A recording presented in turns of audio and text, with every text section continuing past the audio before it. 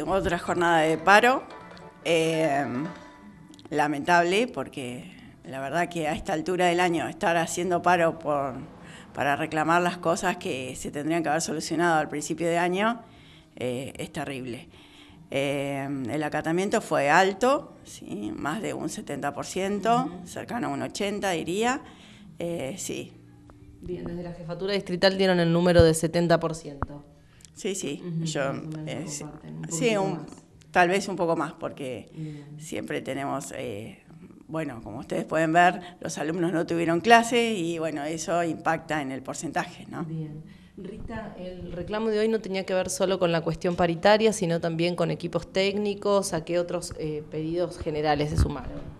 Sí, uno de los pedidos principales es que se deje sin efecto la resolución que dice que los equipos de orientación escolar pasen a ser distritales y no eh, de cada escuela, como dice la ley provincial, ¿no? que cada escuela tenga su equipo de orientación escolar. Ese es uno de los reclamos. Eh, ¿En qué estadio está?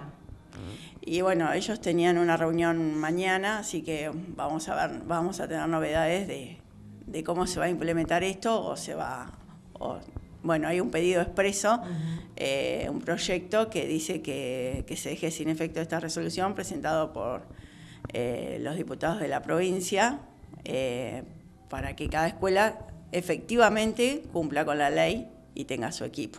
Bien, y por otro lado otro reclamo también. Sí, entre otros reclamos, la apertura de paritarias. Recordamos que estamos todavía con el sueldo del año pasado, el sueldo 2017, más allá de los adelantos que hubo, no impactan en nuestro sueldo porque son adelantos y no es aumento. no impactan en aguinaldo ni tampoco en los jubilados, ¿verdad? Tal cual, sí. Hasta que no se resuelva eso, no vamos a tener aumento de sueldo. Así que lo que pedimos es eso. Rita, eh, ¿comienzan las clases luego de las vacaciones de invierno? Eh, por el momento es todavía no está resuelto eso. Se resuelve en asamblea, todavía no, hay una decisión de, no comenzar, pero eh, como vamos, esperemos que se solucione antes de que terminen las vacaciones.